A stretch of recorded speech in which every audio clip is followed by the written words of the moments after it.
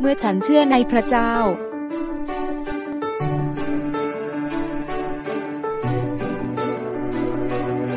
ข้างในมืด กลัวความมืดและความตาย ฉันรู้ว่ามีพระเยซู แต่ฉันไม่รู้ว่าเขาเป็นใคร แต่ฉันไม่รู้ว่าผู้คนไปที่ไหนหลังจากพวกเขาตาย ฉันไม่ได้มีความชั่วร้ายในนั้น เมื่อฉันเชื่อในพระเจ้า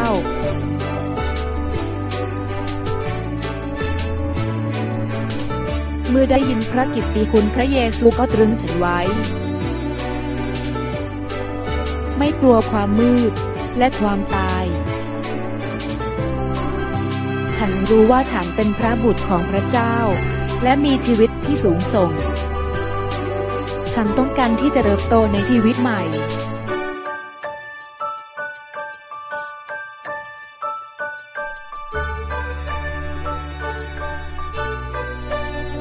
พระเจ้ามอบภารกิจให้ฉัน